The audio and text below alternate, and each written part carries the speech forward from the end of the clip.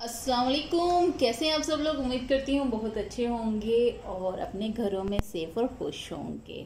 तो आज हम लोग सीखेंगे बहुत ही ज़बरदस्त सा, स्टाइलिश सा एक नेकलाइन बनाना कि कैसे हम लोग ज़बरदस्त सा गला घर पे बना सकते हैं। तो उसके लिए मैंने एक गले को कटिंग करके मैंने पेस्ट कर लिया, गोल गला कट कर लिया मैंने। पाँच इंच इसकी लंबाई ले ली है मैंने। क्योंकि बोर्ड गला जो होता है, वो छोटा होता है। तो अभी इसके अंदर डिज़ाइन सेट होगा तो ये और ज़्यादा मज़ीद छोटा हो जाएगा। तो इसकी तकरीबन साढ़े चार इंच चौड़ाई है। चौड़ाई भी ज़्यादा है और लेंथ भी, क्योंकि ये ऊपर बिल्कुल गर्दन के साथ लग जाएगा। जब इसका डिज़ाइन सेट हो जाएगा तो ये बिल्कुल गर्दन के साथ अटैच हो जाएगा।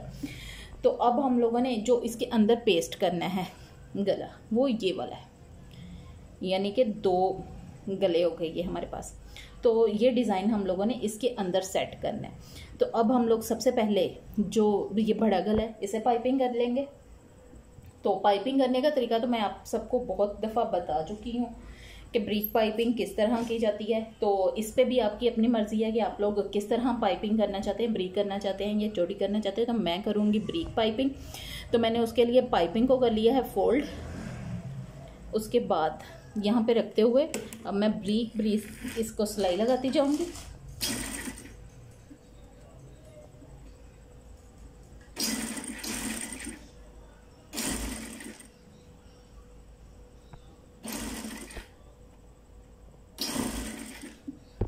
पाइपिंग हम लोगों ने लगा ली। अब हम लोग इस पाइपिंग को इस तरह से ब्रीक ब्रीक बिल्कुल साथ साथ सिलाई लगाते हुए निकाल लेंगे।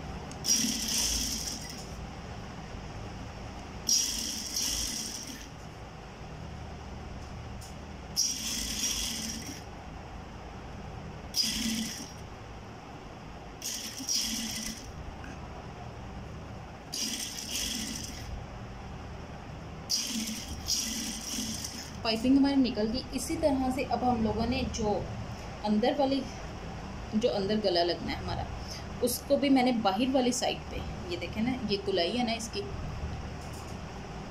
ये गले की गुलाई है। तो मैंने उसके बाहर वाली साइड पे पाइपिंग पहले कर ली है, अंदर वाली साइड पर पाइपिंग मैं बाद में करूँगी। ऐसे ही मैंने ये बाहर वाली साइड पे भी इसके पाइपिंग निकाल ली है अब मैं इसको लगा ली है, अब मैं इसे निकाल भी लूँगी। इस तरह से। अंदर वाली साइड पे पाइपिंग मैं बाद में करूँगी उससे पहले मैं इसका डिज़ाइन सेट करूँगी। तो डिज़ाइन सेट करने के लिए, इसके लिए हम लोगों को एक अदद पेपर चाहिए होगा और उसके अलावा जो डोरीज हम लोगों ने इसके अंदर लगानी है, वो चाहिए होंगी। जैसे मैंने एक अदर चौड़ी ये पट्टी सिलाई कर ली है। ये मैंने डेढ़ इंच का कपड़ा लिया, उसे सिलाई लगा कर मैंने सीधा कर लिया और एक अदर मैंने ब्रीक डोरी सिलाई कर लिया तो अब जो चौड़ी पट्टी है, वो हम लोगों ने एक एक इंच के पीस उतार लेने इस तरह से एक एक इंच के पीस कर लेने हैं। ऐसे चाहे एक दफ़ा ही फोल्डिंग करके, सारी फोल्ड करके, उसके बाद इसे कट कर दें। चाहे सिंगल सिंगल पीस भी कट कर सकते हैं। इस तरह से। अब इन पीसेस को ऐसे।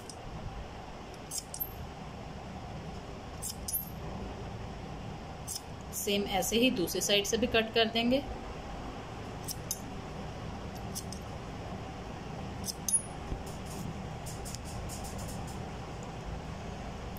दोबारा से हम लोग बाकी की पट्टी के भी ये पीसेस फोल्ड कर लेते हैं।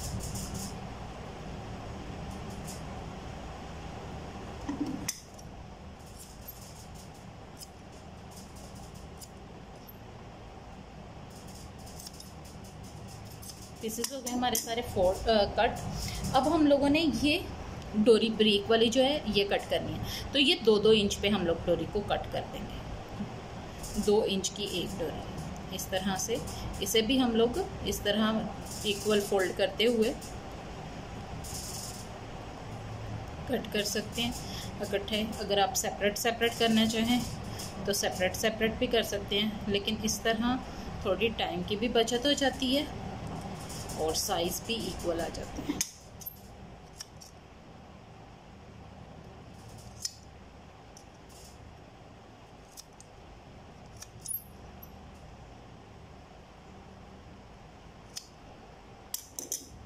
अब हम लोग ये अप्लाई कर देते हैं। एक अदद मैंने प्लेन पेपर ले लिया है। पेपर में मैंने जो अपना बड़ा नेकलाइन बनाया है, उसके मुताबिक ये निशान लगा दिए हैं, ये सारे।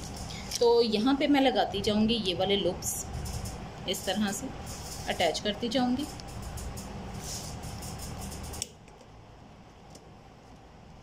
इन लुप्स में ये इजी रहेगा कि अगर हम लोग इनको ऐसे इसके साथ रखते हुए फिर अटैच करें। इधर हम लोग सिलाई लगाते जाएँगे।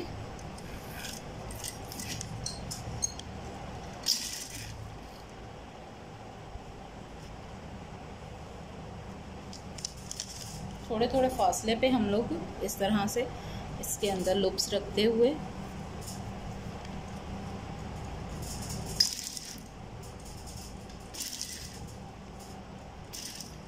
अपने निशान को देखते हुए। जितना फासला पहले छोड़ा है, उतना ही फासला दोबारा छोड़ेंगे हम लोग। और इस तरह से हम लोग लगाते जाएँगे अपने लुप्स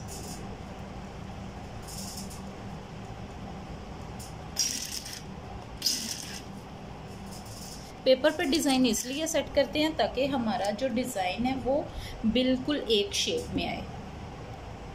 हमेशा याद रखें, इस तरह के डिज़ाइन जो होते हैं, वो पेपर पे बनाएँ पहले, उसके बाद शर्ट के साथ अटैच करें, फिर बहुत ज़बरदस्त और नीट डिज़ाइन आते हैं।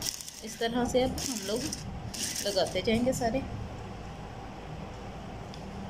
अब ये हम लोगों ने पूरा इस पर डिज़ाइन सेट कर लिया, ये देखें, इस तरह से गोल बिल्कुल शेप हम लोगों ने सेट कर ली।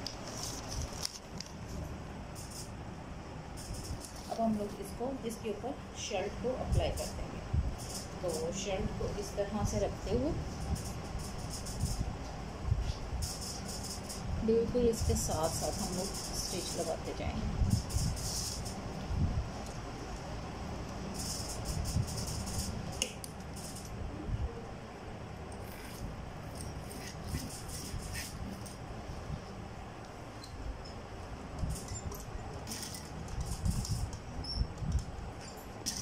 तरह से बिल्कुल साथ साथ रखते हुए हम लोग इसके साथ स्टिच लगाते जाएँगे और अपना डिज़ाइन इसके साथ सेट करते जाएँगे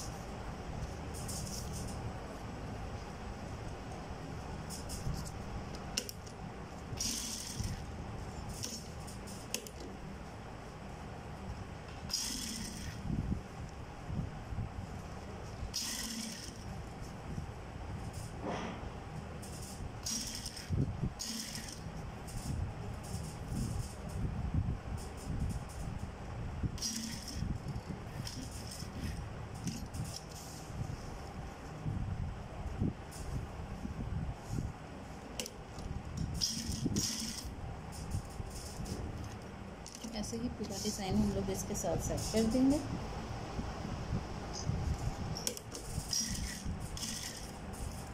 अब हम लोगों ने ऊपर वाला गला इधर रखते हुए ये इसके साथ सेट कर देना है डिज़ाइन।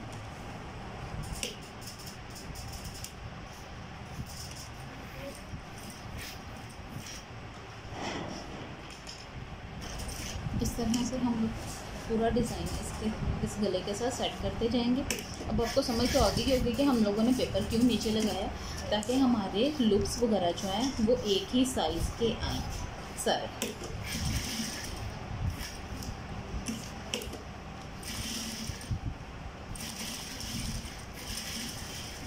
बना दिया हम लोग। अब हम लोग पेपर उतार देंगे। सारा इसके, ये जो लगाया हमने पेपर को इस तरह से। उतारते जाए।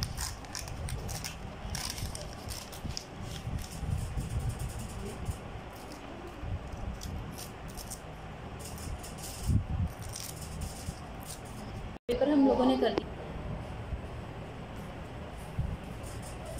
अब हम लोगों ने पेपर मूव कर चुके हैं और हम लोग यहाँ पे भी पाइपिंग कर देंगे जैसे हमने पहले जैसे पाइपिंग की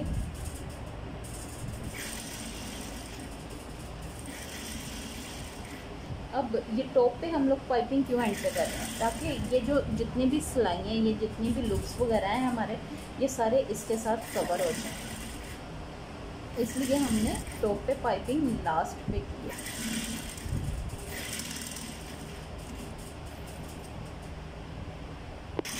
इस तरह से अब हम लोग ये सारी पाइपिंग को निकाल लेंगे